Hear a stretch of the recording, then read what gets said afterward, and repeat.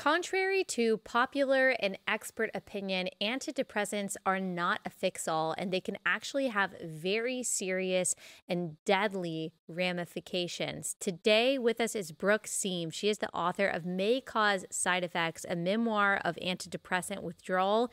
She is going to tell us her story of getting on antidepressants, getting off antidepressants, and what she wishes people, especially parents, knew about the prescribing of antidepressants to children. This episode is brought to you by our friends at Good Ranchers. Go to goodranchers.com, use code Allie at checkout. That's goodranchers.com, code Allie.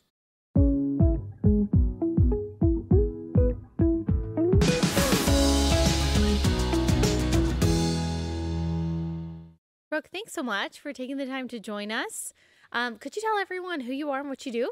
Sure. My name is Brooke Siem, and I'm actually a professional chef by trade, but I also do a lot of work in patient advocacy and doctor education for safety prescribing practices of psychiatric drugs. Yeah, I think I first heard your name or saw your name when I read an article by you in the Washington Examiner. It was mm-hmm. in 2022, yeah. so it's a little while ago now. And the title is What I Wish I Had Known Before I Stopped Taking Antidepressants and Before I Started. Uh, you wrote a book called May Cause Side Effects. It's a mm. memoir of antidepressant withdrawal. So I just want to hear about your story. Like, let's go back to what led you to start talking about this. Yeah, I so I was 15 years old and my father suddenly passed away.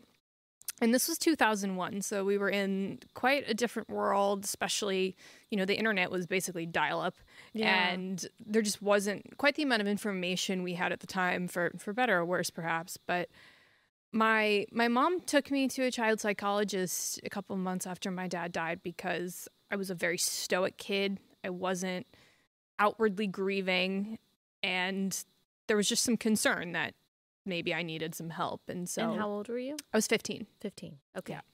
And so the child psychologist, she and I didn't really click. It wasn't a good match. And she called my mom up one day and said, You're wasting your money. What your kid needs is a psychiatrist, not a psychologist. Mm-hmm. I'm diagnosing a depressive and anxiety disorder and recommending medication. Mm. And that was pretty much it. I mean, what was my mom supposed to do at that point, right? She's a widow, she's grieving her husband. It was just the three of us, and now we were down to two. And the only person she ever had to really bounce ideas off of when it came to me was gone. And why should she question the recommendation of a professional? Mm-hmm. So she took me to the child psychiatrist, and I walked out with a prescription for some antidepressant. Uh, we tried a few before we landed on a combination of Effexor XR and Wellbutrin XL, which weren't approved for use in children and teens in 2001 and still aren't today. But I ended up staying on that combination of drugs, and then about four more were added on over the course of the next couple years. And I was on that until I was 30, and no one questioned it. Okay. And you said that you were a stoic kid. Yeah. Before your dad died, you were a stoic kid. Yeah. I was a very serious ballet dancer. So I was taught to smile through the pain and, you know, you're bleeding into your pointe shoes, but got to look pretty and make sure that yeah. you don't, you know, you don't offend anyone, right? That's kind of the nature of ballet. So, you know, and I think there was also a level of, of shock as well mm. because my father died suddenly. It was, and we were out of the country at the time. So it was basically wow. the call that said, you, you have to come home. You know, my dad's gone. You and basically. your mom were out of the country. We were, we were trying to visit family. And okay. so we were in Italy and then had to get home, and he was Gosh. pretty much gone by the time yeah. we got back. So you were already a pretty stoic, serious person that had learned to kind of suppress your emotions and reactions yeah. in some ways. Mm-hmm. And then when your dad died, obviously you're going to yeah. be sad about that. Yeah. Um, but what led your mom to thinking that you actually need to go to um, a, a psychologist? It was a child psychologist. A child psychologist. Why? Why did she think that you needed that? I think it was a combination of things. One is just that I wasn't, you know, I wasn't, I wasn't crying. I wasn't outwardly grieving in a way that I don't even know if appropriate's the right word. I think it was just a little weird to people. Um, also, my grades started slipping a little bit. I wasn't going from, you know, getting A's to hanging out in the back alleys and getting F's. It wasn't that bad, but there was a little bit of detachment there. And then also, because I was a serious ballet dancer, I started dropping weight. So I definitely adopted some kind of eating disorder tendencies. And so I think all those things together, my mom just straight up got scared. Yeah. And and she's told me, uh, you know, recently because we talk about this a lot and we're so close, and I don't begrudge any of the decisions she made because I know she was just doing the best she thought she could do at the time. But she said to me, I had just lost one third of my family, and I was terrified I was going to lose another third too. yeah. So it was, I think, at the end of the day, an act of fear. Yeah.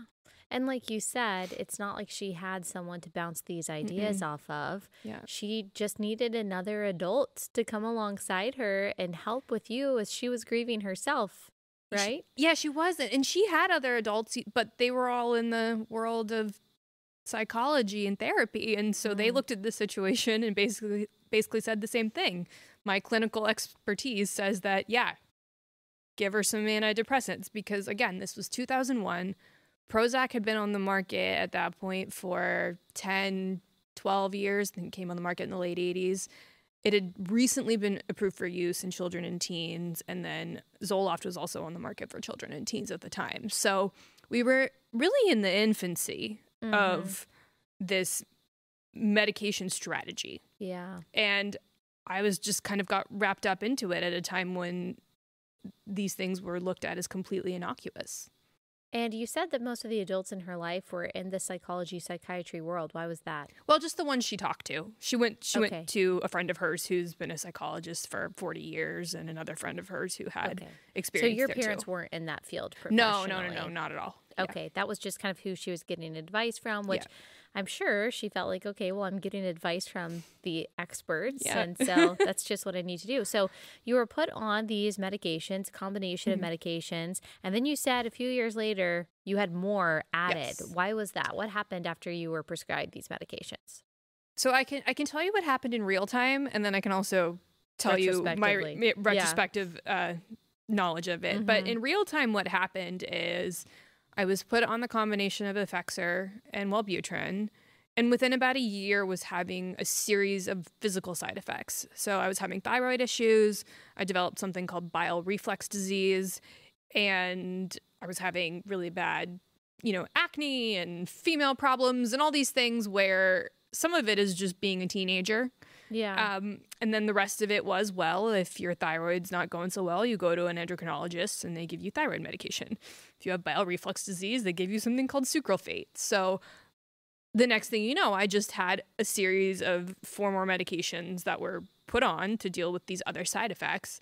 And no one connected the dots between maybe this has to do with the antidepressants. Never, literally never occurred to anyone. It didn't Yeah. even occur to me until 15 years later when I hit a point where it was time to get off these drugs for a variety of reasons. I got off everything and none of my symptoms came back for the thyroid problems or the bile reflux disease, which was baffling to me because I had been under the assumption that these were lifelong chronic illnesses. Yeah. Yeah. And did anyone connect it to? Because I know you said that you had some disordered eating. I know with ballet, Mm-hmm. you're made to stay very thin. Sometimes that can cause, you know, Thyroid problems. thyroid problems. Did anyone connect it to those things? Or you know, I mean, not really. Not in a way that would have, you know, made sense. I, I felt like we were looking for zebras when we really should have been looking at horses, right? Yeah. To me, it's obvious in retrospect. My nutrition was not great. So, Right. yeah. And I was grieving still, and it was coming out in physical manifestations. And I was under the stress of, you know, there was still the pressure to take the SATs and go to college and get a Yeah. prom date and all It's these already a normal hard things. time in Yeah, it's the worst time anyway. yeah. So how did these antidepressants make you feel emotionally? I so I actually have a lot of memory loss too around Yeah. this time. Some of it has to do, I think, with the trauma of losing my dad the way I did, Yeah. and others uh, antidepressants are known to cause memory problems and cognitive problems. So I think it's the combination.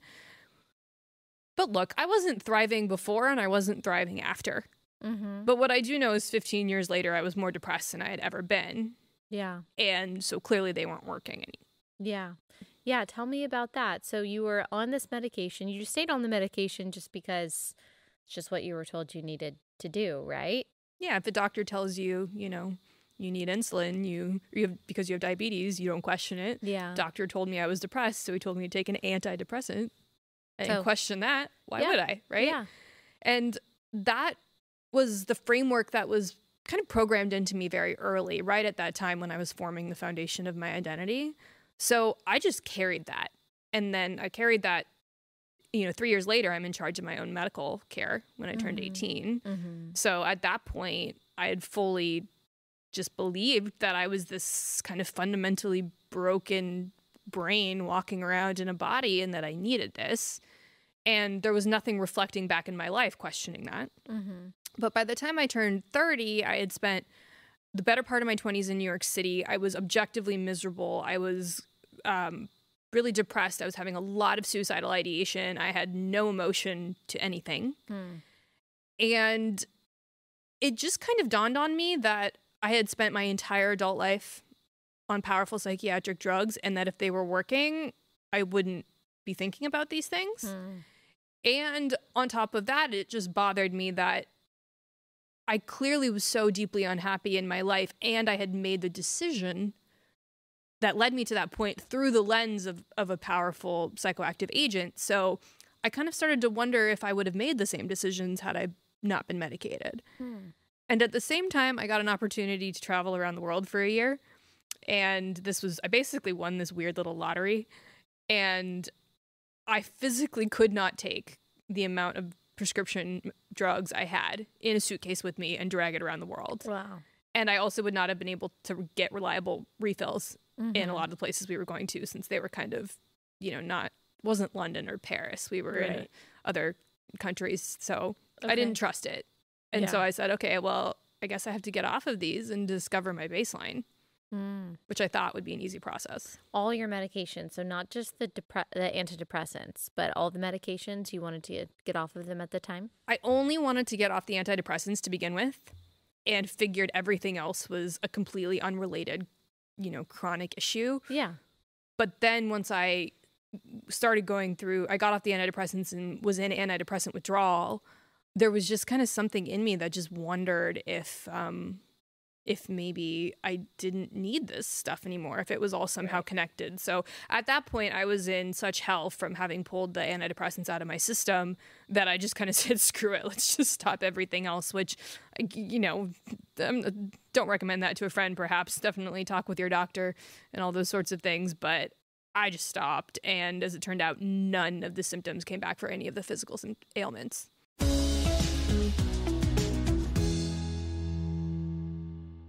Okay, first sponsor for the day is Carly Jean Los Angeles. I am wearing a Carly Jean Los Angeles top right now and a tank top underneath my Carly Jean Los Angeles top because I wear them all the time. I think this is actually from a couple years ago, but that's the great thing about Carly Jean Los Angeles is that all of their stuff is so classic that you can wear it for years because it's not going to go out of style. That's what I love about them. It really matches my style. I'm a simple gal, and all of their stuff is really simple, really beautiful, really adaptable for different occasions, different seasons of the year, different different seasons of life, pregnancy, postpartum, neither of those things. And I just love their high quality clothes and I love that they're a company run by a family that loves Jesus, that shares our values, and I genuinely just like how I look in their clothing, which of course is really what matters when you are deciding which clothes to buy. So ditch those clothing companies that don't support our values. Get your clothes instead from Carly Jean Los Angeles. You'll be glad that you made that switch. Go to carlyjeanlosangeles.com. Use code relatable for 20% off your entire order. carlyjeanlosangeles.com, code relatable.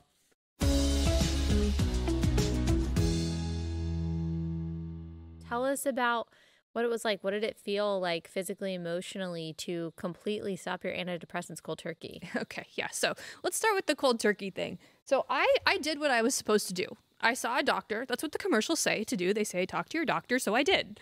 I went and I and I talked to her and I told her what the situation was and she was really not supportive of it at all. and she wanted me to wait for a better time and i just kind of said but th- this is the time there is no better time this is what we're dealing with. And so she said okay fine. Well i was on 37.5 milligrams of effexor xr which is the lowest dose on the market. So she said i can't prescribe you a lower dose.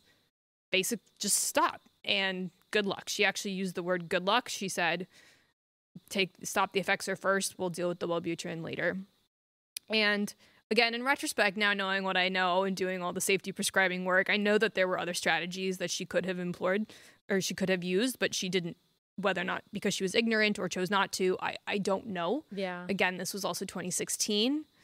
We didn't get the first systematic review of antidepressant withdrawal in research until 2015. So wow. this was still kind of new. fairly yeah. new.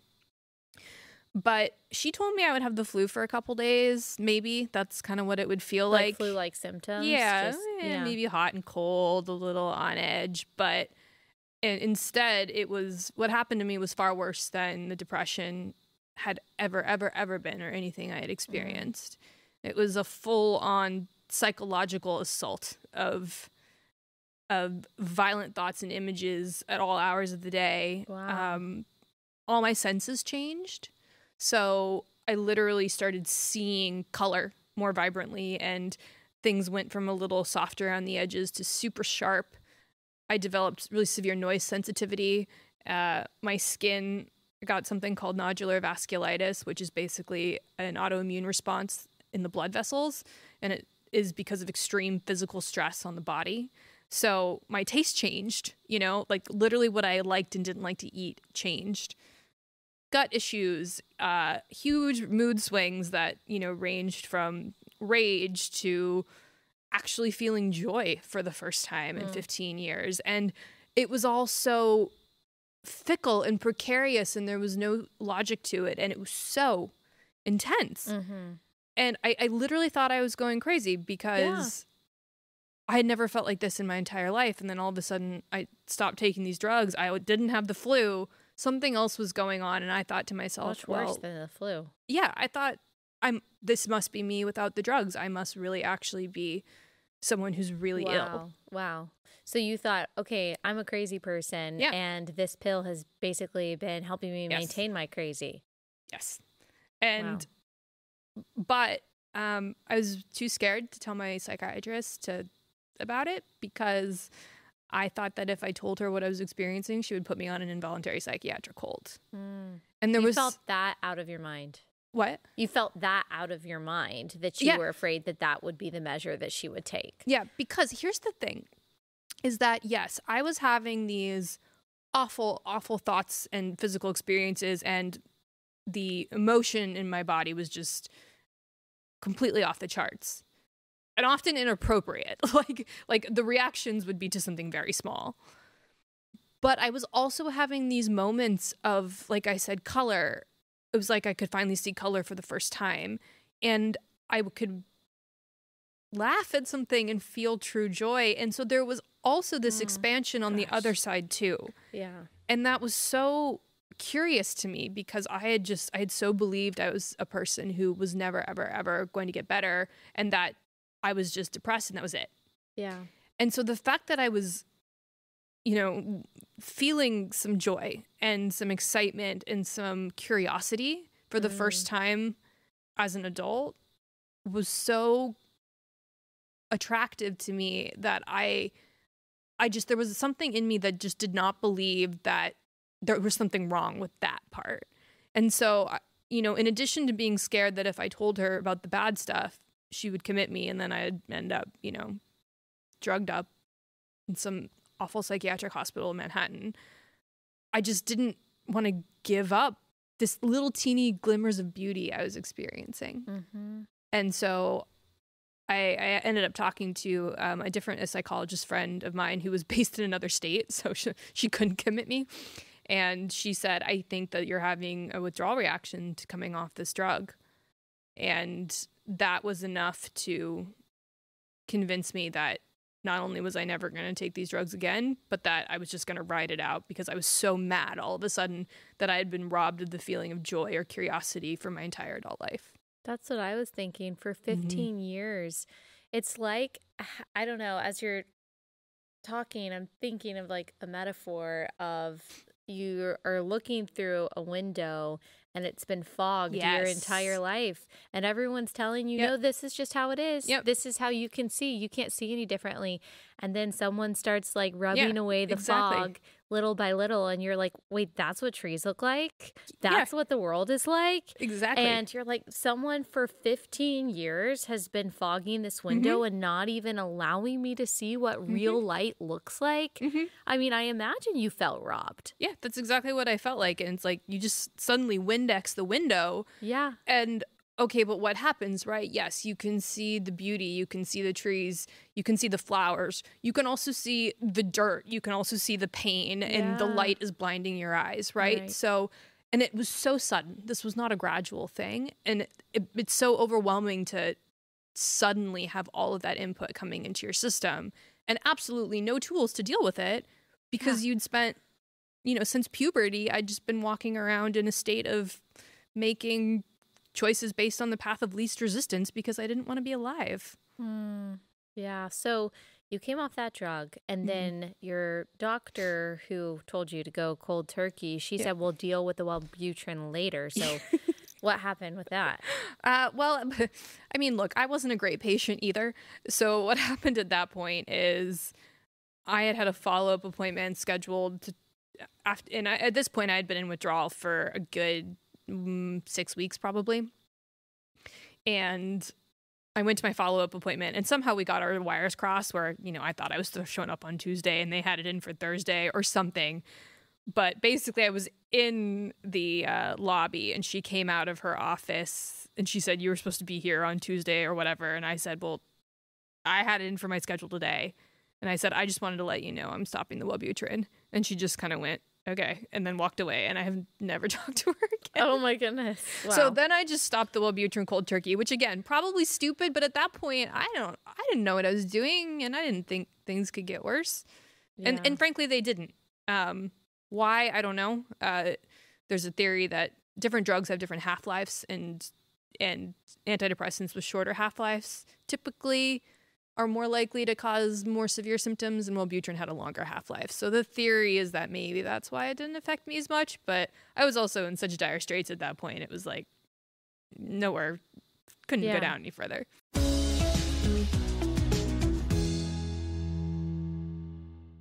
Okay, it's time to talk about Good Rancher. So they've got this awesome deal still going on in honor of March Madness, and that is March Meatness. And they are giving you a $150 value of chicken wings for whatever subscription that you choose. So when you subscribe to Good Ranchers, you get that box of meat showing up at your front door every month makes your life so much easier. Pre-marinated, non-pre-marinated chicken, better than organic chicken. Ground beef, that's what we use the most in our home, all different cuts of meat. And then with that, when you subscribe right now with my code, you get that free uh, $150 worth of chicken wings with your order, which is just incredible. If you go to goodranchers.com, use code Allie, you'll get $20 off your order, plus, of course, those chicken wings. Goodranchers.com, code Allie.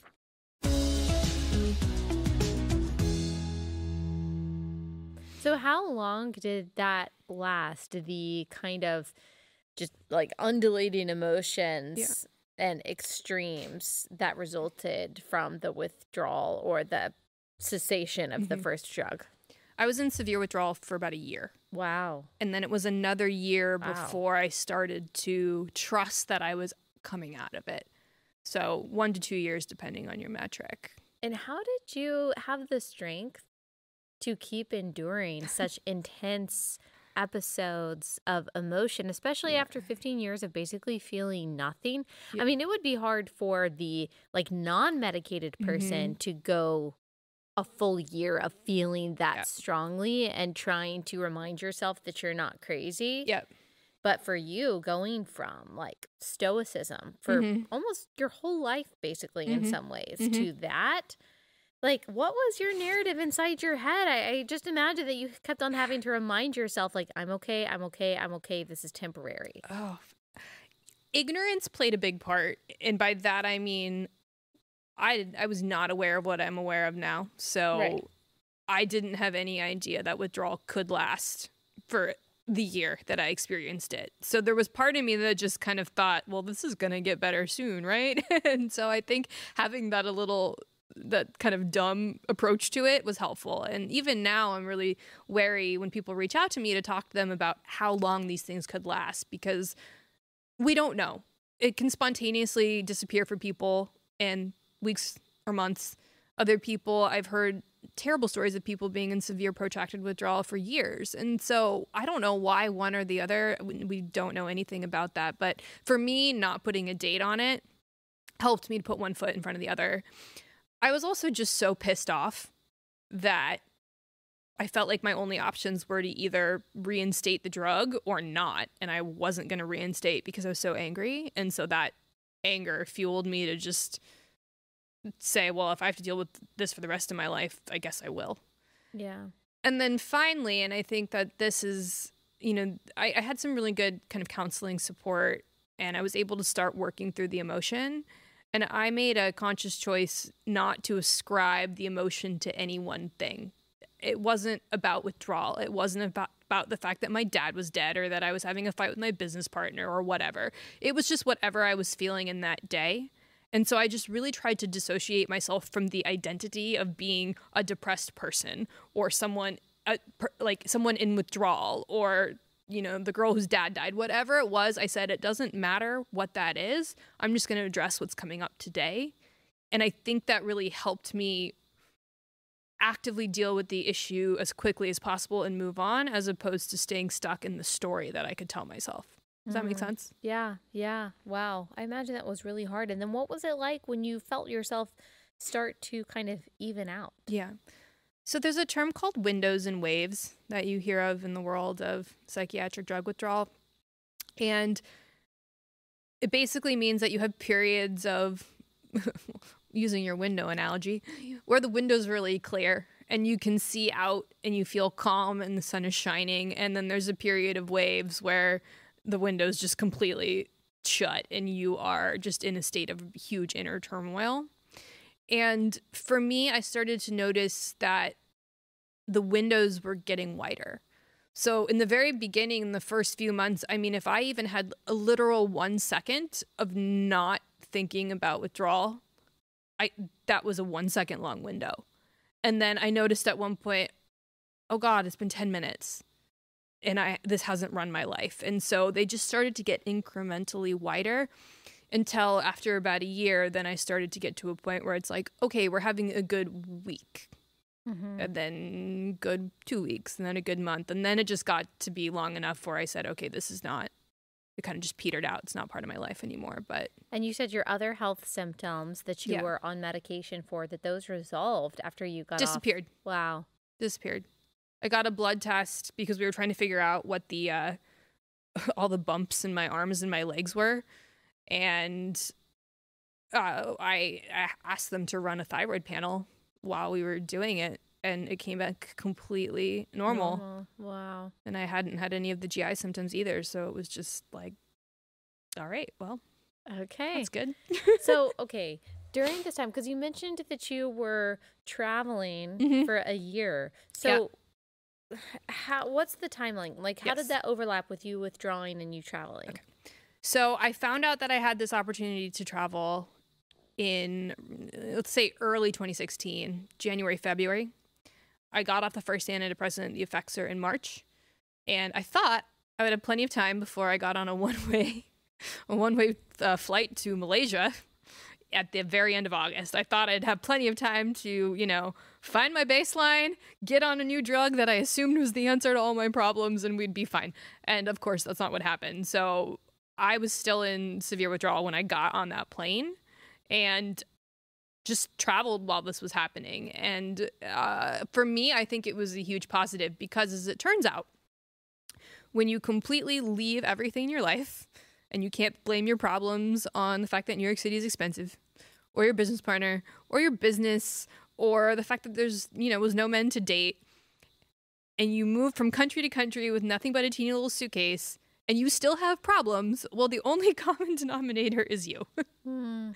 And so for me, that was ended up being such a gift, as frustrating as it was, because I recognized very early that, like, oh, this is me. I need to deal with this. And mm. it was so clear what the issues were that were being triggered by the outside versus versus ones that weren't because I literally took them with me to an entirely different culture yeah. and country. And I think it very much accelerated my healing.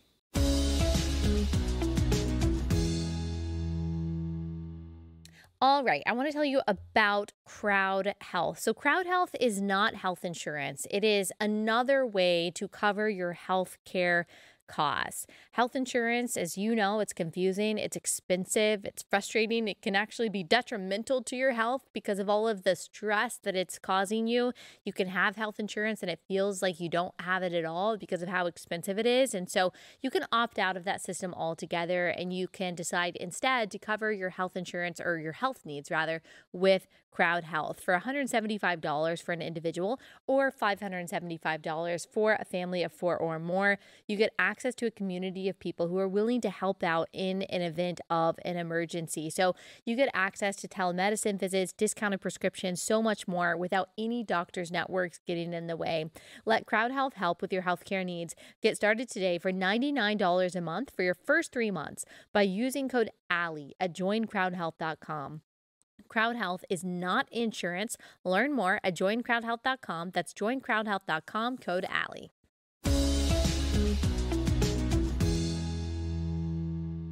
Tell us about how you were on Chopped while you were dealing with all yeah, of this. Yeah, it was a it was a really like bad week. What had happened was so I'm a professional chef by trade. It's yeah. still what I it's still what I do to make money because you know yeah. most writers aren't rolling in money. Yeah. But uh, I had met the casting director of Chopped at a party, and like you do in New York. And she said, Oh, this was in October of 2015. So this was before any of this was on yeah. my radar. And she said, We're always looking for local female chefs to compete. And I looked at her and I said, Basically, you don't want me. This is not what I do. Yeah. And and uh, forgot about it and th- they just didn't get back to me for another four or five months. And then what happened was is i'd gotten this opportunity to travel. I had realized i needed to get off the antidepressants and then i got basically the you're going to be on chopped email all within a very short period of time. And my response to it was i just had a complete and total i literally was like on the floor sobbing because it was so much yeah. But I uh, decided to do it because I'm just not really one to say no to things. And right. uh, I got lucky that day. I had I was in a window, and so I was able to get through the day. I also got really lucky that the producers took pity on me and didn't cut me into someone who was a complete and total mess because they could have. Mm. I spent a lot of that day crying. I had to be calmed down a lot. I yeah, was. they could have used that. They could have, and they didn't. I'm so glad they didn't. Me too. I don't. I would. I wish I knew who made that choice. I could send them a thank you note because yeah. it really. It was a pretty terrifying thing to be in such a fragile state on national TV, representing my business, representing myself and my work, and just feeling so vulnerable at the same time. And you you won, and I imagine that was a lot of emotions in that too. Wow. Yeah, and and the thing about winning that day, it was actually a huge turning point in my healing because that was we filmed in June, about three, four, three, four months after I was in bad withdrawal. I hadn't really had an opportunity to have kind of an exhilarating experience yet. And that was the first time that not only had the day of filming been so emotionally intense, but also because I won, there was this huge sense of, oh, oh, oh my goodness, I did it you know? And the rush of endorphins and joy and excitement and pride again was so overwhelming in me and I hadn't felt that yet. So it was just like it just showed me that I was capable of experiencing this. Mm-hmm. And that I held on to that for months because wow. I just I knew deep within me that if I was capable of experiencing that for a couple of minutes, I could repeat it in my life and that mm. it wasn't a one off and that my brain wasn't broken and I wasn't destined to feel horrible for the rest of my life because I had proven to myself that I had experienced it. Yeah. And what have you learned about the industry and about antidepressants and especially as they pertain to prescribing children these things Yeah. since you have now taken this journey? Yeah. Oh, I've learned too much. Um, I think it can best be summed up this way I'm a professional chef, and yet I spend a lot of my time in universities talking to medical students about safety prescribing practices. Hmm. Why is the chef doing this? Right. Right? Shouldn't this be in the medical textbooks? Shouldn't this be taught to our doctors and prescribers? If you're going to put, if you're going to build a car and you put brakes in the car, you teach people how to slow down and you teach them to accelerate. Why aren't we teaching doctors how to take people off these drugs? Because the bottom line is what I went through and something that was so bad that I had to write a book about it in order to get the word out was avoidable. Hmm. And it was avoidable if there was education around safety prescribing practices, if there was true informed consent on the part of not just the patient, but in the case of children, their parents. If people actually knew how flimsy so many of the research studies are, how they're only studied for, you know, what, between four and 12 weeks typically, and yet we have a huge percentage of people in this country who have been on these psychiatric drugs for years they're they're operating in a world where we have absolutely no idea what these are doing to their brains and their bodies because the research doesn't exist and who's going to fund that Yeah. So you have to know that you're basically part of a gigantic social experiment. Mm-hmm. and if that's the choice you want to make and you're fully informed then you know it's not my place to tell you what to do with your life. But i do think it's my place to call out the fact that we are not fully informing people what's going on. We are not telling them both the pros and cons and there are serious cons with with with these drugs. And then we're not teaching doctors how to take people off of them safely Yeah. Yeah. I think a lot of people do not know or think about the side effects Mhm. of being on these medications. And it's become so trendy to Mhm. talk about being on depression me- medication.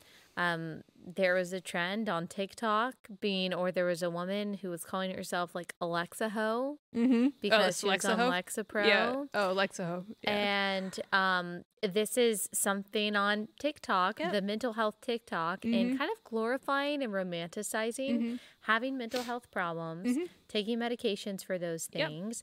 And if you criticize it, it's Mhm. while you're criticizing this drug that is saving Yeah. this child's life or Yeah. this person's life. And everything today is now you're depressed, you're anxious, not ever I'm sad or I'm worried. yeah And that I think is leading to overprescription, especially of young people who are already moody. And it is normal to be moody as a young yes, person, but everything becomes a diagnosis. Yep.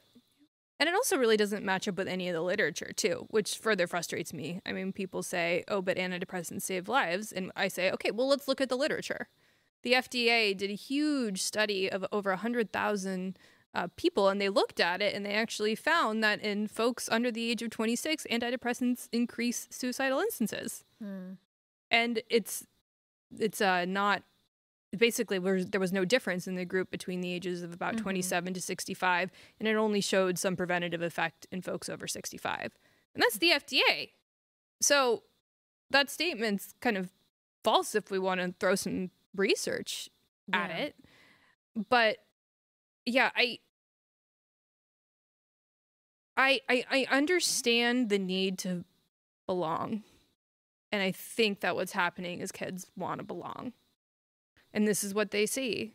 I Mhm. mean, I know that for me, you know, in the mid 2000s, it was very trendy to have an eating disorder. And that certainly impacted the fact that I developed one right. because it was, you know, all over when you had a rail thin Lindsay Lohan, pa- Paris Hilton, and live Diet journal culture was diet culture. totally yeah. accepted. I remember in, in high school, it was we did a special K diet where it was literally you just ate special K every day. Yeah. I'm sure Big Cereal loved that.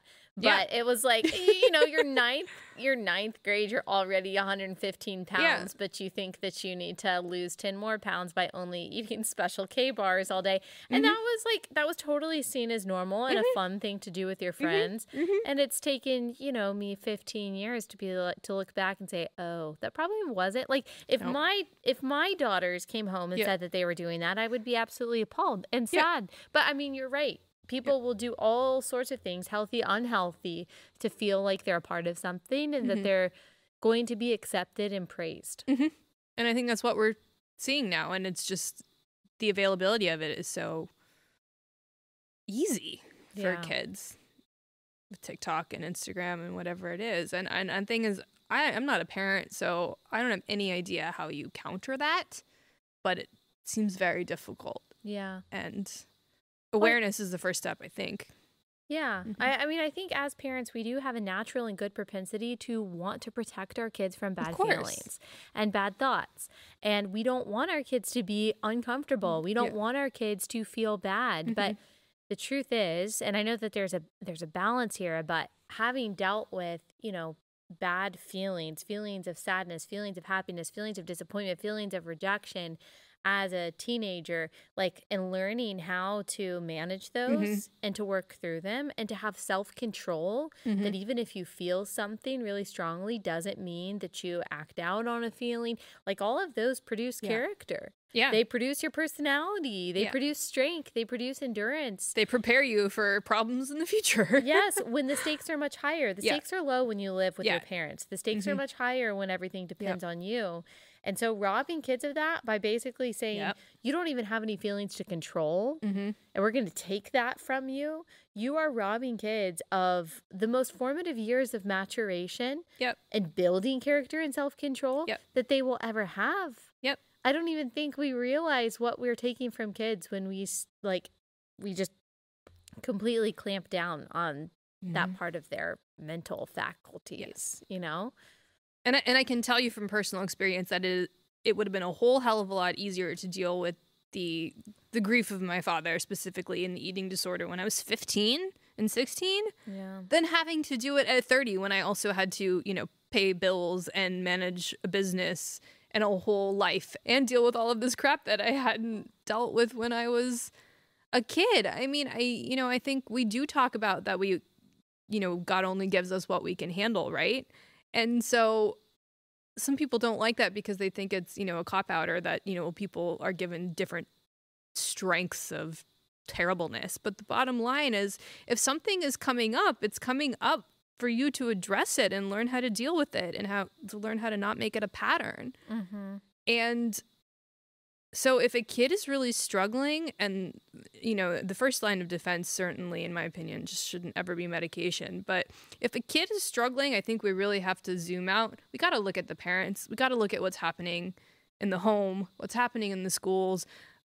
More often than not when a parent comes to me and says my kid is struggling what do i do? I say get help for yourself.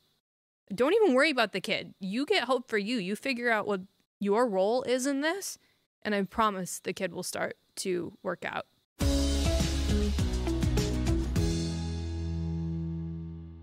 last sponsor for the day is Jase Medical. All right, it's better to be safe than sorry when it comes to the medications that we rely on on a daily basis or the medications that we might rely on, say if we get some kind of infection and we need an antibiotic. Jase Medical ensures that you have a year long supply of all of those medications that you either take often, take on a daily basis, or that you might need with the supply chain, pharmaceutical companies, the economy. There is just so much going on right now that unfortunately has led to some shortages of some medications. You don't want to be on the wrong end of that. So you can just avoid that kind of catastrophe by going ahead and having a year long supply stash of these prescriptions that you and your family rely on. It is so much better to be safe than sorry. Go to jasemedical.com, use code Allie at checkout. That's jasemedical.com, code Allie.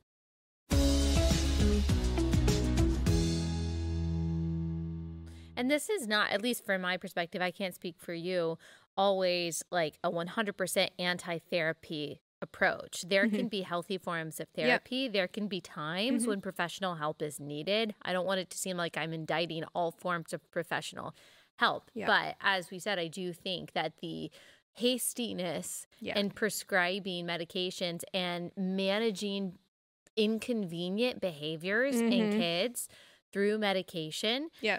Because no one wants to be uncomfortable. No one wants their kid to be different. No one wants to Mhm. think about the possibility that, okay, maybe my kid just can't go to like standard public school or Yeah. private school. Like maybe this is going to be a little bit harder Mhm. rather than just like suppressing the Yeah. difficult parts of their emotions. I mean, th- you're right. There's a lot there that in some ways has more to do with the parents and Yeah. how we parent than what's going on with the kid.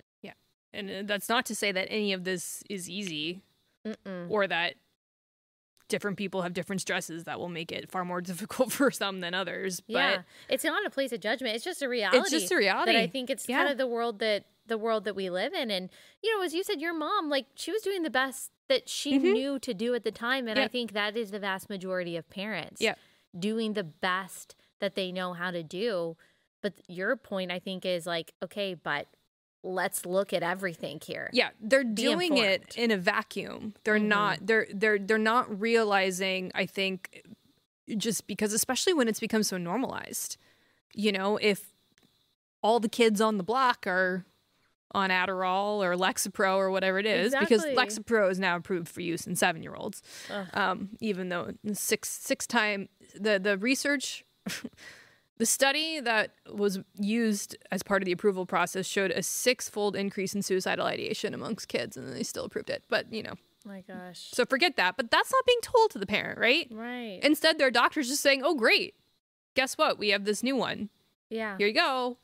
And with all the pressure elsewhere, and and so, you know, I can come across a lot of the times like I'm doctor bashing, and that's not so much of it either. It's just like the doctors are under a huge amount of pressure themselves. They're not getting paid unless something is billed to say, insurance. there's a financial incentive too. Yeah, and it's it's it, some it's not even an incentive sometimes. It's just how the system works. Mm.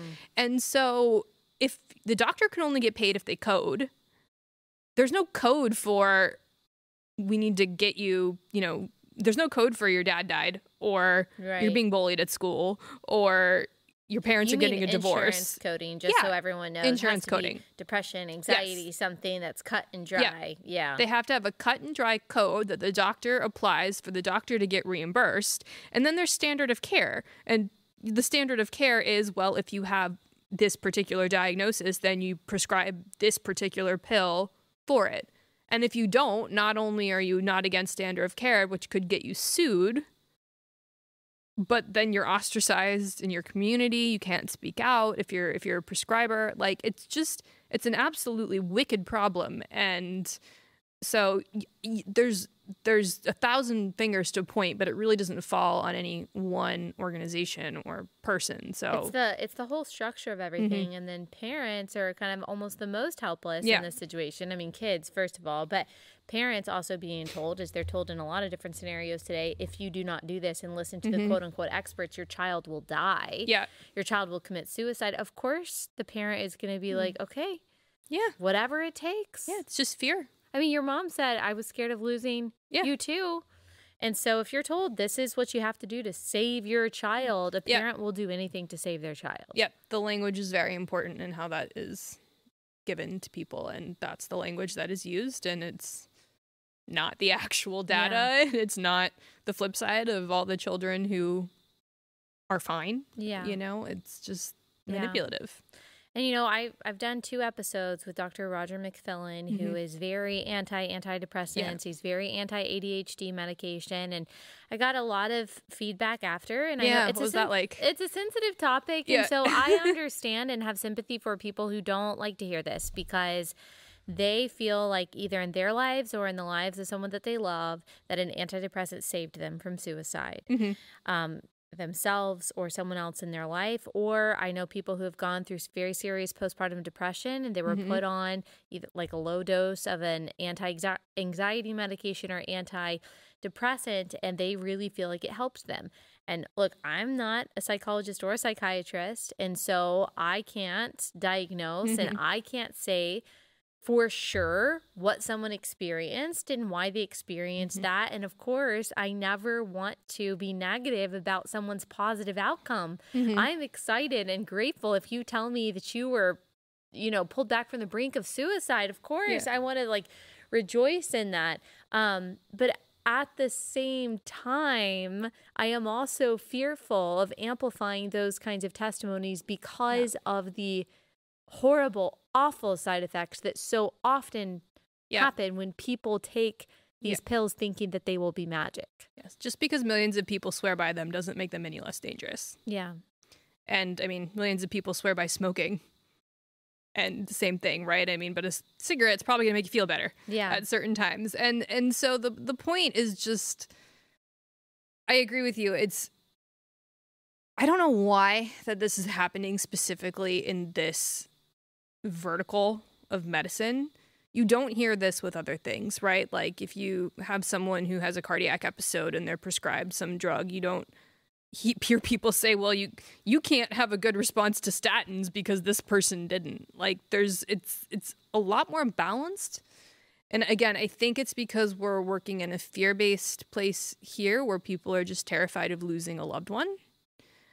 But that's why I'm a full proponent of just true informed consent. Like we, the the people who you know effectively give it five stars on Yelp, let them do it. But the people who give it one star on Yelp and three stars need to be heard too. You can't cut off those voices when it comes to individual health choices. Yeah. And but that's kind of what's happening. Right, right. Yeah. These drugs are very powerful. Mm-hmm. And for every one message I've gotten saying this antidepressant saved my life, I've probably gotten five from people since those episodes came out saying either I or my husband or Yeah. some or my father became a completely different person Yeah. when they were on the or my child became a Mhm. completely different person, became more suicidal Yep. after that. Which is consistent with the literature. which is very consistent. I mean, these are powerful drugs Yeah. messing with your mind. And the point is, is that we are so often, just like with so many other medications, hormonal birth control, so Yeah. many things, we are not told the side effects. We are told, Mhm. trust the experts, trust the science. This will save your life. If you're against it, then you're some kind of hippie kook Yep. that thinks that you're better than everyone. Mhm. Um, and you know, you just get your information from holisticsally.com or something. and so it can be very intimidating Yeah. Because, uh, but I do think one good thing that has happened in the past few years since COVID is that Mhm. people have started to realize, oh, I can question things. Yeah. I don't have to have white coat syndrome. Like I can, Yeah. I can ask questions, and these are valid questions, and Yeah. these are good questions, and I can take charge of my own health, Mhm. and I can push back when a doctor says that I have to do X, Y, Z, and really ask why. It's a really good litmus test too, because if you push back and they are highly defensive, and that's a pretty good sign that maybe it's time to find a new doctor. Yeah, Because there are plenty of doctors out there who will say, you know, I need to learn more about this. Let me go learn more about this, and then we'll work together. Or there's others who will say, I'm glad you brought me this. Let's, again, let's work together. So I think it's great because we have to take a lot more control of our own health now than we ever had to, in part because of the sheer amount of information in the system. And so let it let it be your guide, let it be your litmus test. If something's not feeling right in your body and it's okay to change course, it's okay to change doctors, and any one decision you made in the past doesn't have to dictate the rest of your health future. yeah.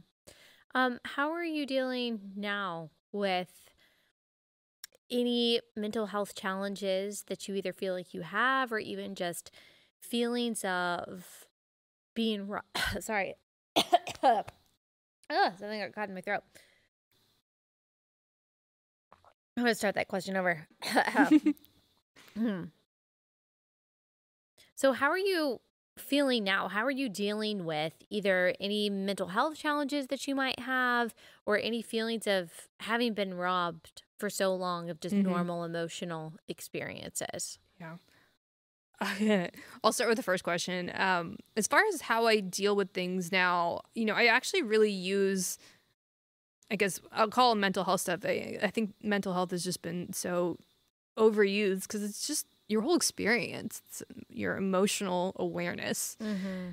but I use it. It's a again, it's a litmus test. If I'm having a few a periods where I'm feeling down or where I can feel my body is in a really state of you know anx- anxiety or worry, that's a sign for me to look around at what's going on in my life and say what's off balance here. You know, and it could be as simple as realizing I'm holding my breath when it comes to anxiety and needing to breathe better. It could be, you know, getting off my phone. It could be firing a client.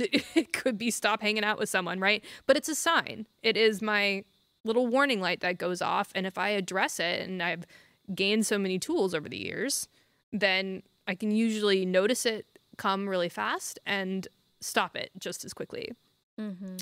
And then, as far as how I'm dealing with the frustration and anger of basically losing my entire 20s and half my teens, uh, I'm just just obsessive curiosity and learning. I'm trying to do as much as I can with the time I have on earth. I mean, my father died at 53 and I'm 38. So there's part of me that that kind of messes with my head a little bit cuz I am like I don't know I don't know how much time I have left. If I die when he did, I'm more than halfway through. Yeah. So I'm just trying to do as much as I can and learn as much as I can and enjoy the fact that I finally love that I'm alive. Yeah. Wow. Is there any encouragement that you would give to people who are either considering, okay, taking this dive of getting yeah. off medication or, mm-hmm. I don't know, struggling in the same way that you have? What would you say to mm. them? The first thing is I would I would encourage everyone to do a Google search, do some research on something called hyperbolic tapering. Now, this is at this point, this is what we think is probably the best way for people to taper off these drugs. It's a much slower taper. It doesn't go from 100 to 75 to 50. It it, it follows a much slower curve. And the literature is all out there. And that has been, for the most part, shown to help people step down in a, in a less aggressive way. And, and there tend to be fewer side effects. Not always, but in general. So that's that's something for people to take to their doctor. And if we just taught that to medical schools, I think we would have a uh, much better outcome. So that's that's probably the main thing as far yeah. as technique. And then as far as encouragement goes, I think it really this isn't this is a time for you to reach down inside yourself and really listen to that inner voice. Because if there's something nagging nagging at you, telling you that these drugs aren't right for you, even if everybody else in your life is disagreeing, there's something that needs to be uncovered there. It's trying to teach you something. It's trying to show you something, and it's it's time to look at it. Tell people where they can buy your book and what they can expect. Yes. So my book is called May Cause Side Effects. It uh, it won an award for 2023, which is pretty cool. That is awesome. And uh, you can buy it wherever books are sold.